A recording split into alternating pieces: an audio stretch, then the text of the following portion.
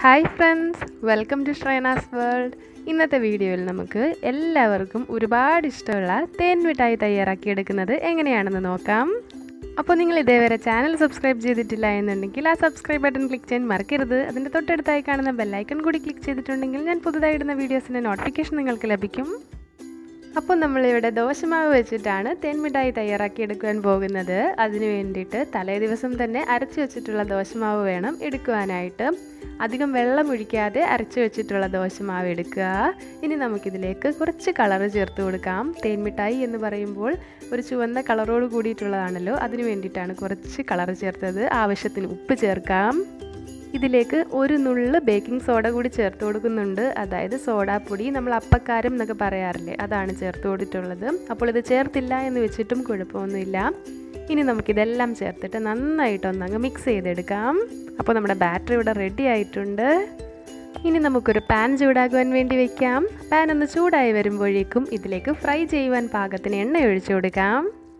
എണ്ണ ഇപ്പോൾ നന്നായി ചൂടായി വന്നിട്ടുണ്ട്. ഇനി നമുക്ക് ഫ്ലെയിം മീഡിയം ടു ലോയിലേക്ക് മാറ്റിയതിന് ശേഷം ഒരു സ്പൂൺ ഉപയോഗിച്ചിട്ട് മാവ് കുറേശ്ശെയായി എണ്ണയിലേക്ക് ഒഴിച്ചു കൊടുക്കാം.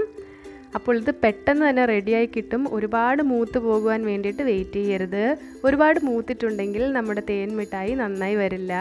ഒരുപാട് ക്രിസ്പിയായി പോകുന്നതിന് മുമ്പ് തന്നെ ഇത് നമുക്ക് തിരിച്ചിട്ട് കൊടുക്കാം. ഇത് ചെറുതായിട്ടൊന്ന് കളർ ചേഞ്ചായി വരും. ആ ഒരു സമയമാകുമ്പോഴേക്കും നമുക്കിത് കോരി മാറ്റാവുന്നതാണ്. കണ്ടില്ലേ? ഈ ഒരു കളർ ആകുമ്പോഴേക്കും നമുക്കിത് എണ്ണയിൽ നിന്നും കോരി മാറ്റാം. ബാക്കിയുള്ള മാവ് കൂടി നമുക്ക് ഇതേപോലെ തന്നെ ഒന്ന് ഫ്രൈ ചെയ്തെടുക്കാം. ഇനി നമുക്ക് ഇതിലേക്ക് വേണ്ടിയിട്ടുള്ള ഷുഗർ സിറപ്പ് തയ്യാറാക്കി എടുക്കണം. അതിന് വേണ്ടിയിട്ട് ഒരു പാത്രത്തിലേക്ക് ഒരു കപ്പ് പഞ്ചസാര ചേർത്ത് കൊടുത്തിട്ടുണ്ട്. അര കപ്പ് വെള്ളം കൂടി ചേർത്ത് കൊടുത്തതിന് ശേഷം നമുക്ക് ഫ്ലെയിം ഓൺ ചെയ്യാം. അപ്പോൾ ഇത് ഹൈ ഫ്ലെയിമിൽ തന്നെയാണ് ഞാനിപ്പോൾ വെച്ചിട്ടുള്ളത്. നന്നായിട്ട് മിക്സ് ചെയ്ത് കൊടുക്കണം. പഞ്ചസാര നന്നായിട്ട് അലിഞ്ഞു വന്നിട്ടുണ്ട്. പത വരാൻ തുടങ്ങിയിട്ടുണ്ട്. അപ്പോൾ ഇത് ഒരു നൂൽ പരുവം ആകേണ്ട ആവശ്യം വരുന്നില്ല. അതിന് തൊട്ട് മുന്നിലുള്ള സ്റ്റേജ് ആകുമ്പോഴേക്കും നമുക്കിത് ഓഫാക്കാവുന്നതാണ് കണ്ടില്ലേ പഞ്ചസാര പാനി ഇപ്പോൾ ഡ്രോപ്സ് ആയിട്ട് പാത്രത്തിലേക്ക് വീഴുന്നുണ്ട്. ഇത് മതിയാകും. നമുക്കിനി ഫ്ലെയിം ഓഫാക്കാം ഇനി നമുക്ക് ഫ്രൈ ചെയ്ത് വെച്ചിട്ടുണ്ടായിരുന്ന ബോൾസ് നമ്മുടെ പഞ്ചസാര പാനിയിലേക്ക് ചേർത്ത് കൊടുക്കാം. അതിനുശേഷം സ്പൂൺ വെച്ചിട്ട് നന്നായിട്ടൊന്ന് മിക്സ് ചെയ്ത് കൊടുക്കാം.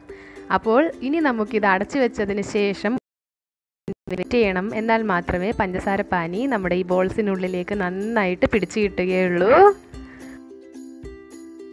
ഇപ്പോൾ ഏകദേശം ഇരുപത് മിനിറ്റ് കഴിഞ്ഞിട്ടുണ്ട്. ഈ പഞ്ചസാര പാനിയൊക്കെ ഒന്ന് വറ്റി വന്നിട്ടുണ്ട്. നമ്മുടെ ഈ ബോൾസിനുള്ളിലേക്ക് പഞ്ചസാര പാനി നന്നായിട്ട് ഇറങ്ങി വന്നിട്ടുണ്ട്. അപ്പോൾ നല്ല ജ്യൂസി ആയിട്ടുള്ള തേൻ മിഠായി ഇവിടെ റെഡിയാണ്. വളരെ എളുപ്പമല്ലേ തയ്യാറാക്കുവാൻ വേണ്ടിയിട്ട്? എല്ലാവരും ഇതൊന്ന് ട്രൈ ചെയ്ത് നോക്കുക. അപ്പോൾ നിങ്ങളുടെ അഭിപ്രായങ്ങൾ കമന്റിലൂടെ എന്നെ അറിയിക്കാൻ മറക്കരുത്. അപ്പോൾ ഇത്രയേ ഉള്ളൂ ഇന്നത്തെ വീഡിയോ. നിങ്ങൾക്ക് ഇന്നത്തെ വീഡിയോ ഇഷ്ടപ്പെട്ടിട്ടുണ്ടെങ്കിൽ ചാനൽ സബ്സ്ക്രൈബ് ചെയ്യാനും വീഡിയോ ലൈക്ക് ചെയ്യാനും ഷെയർ ചെയ്യാനും മറക്കരുത്. താങ്ക്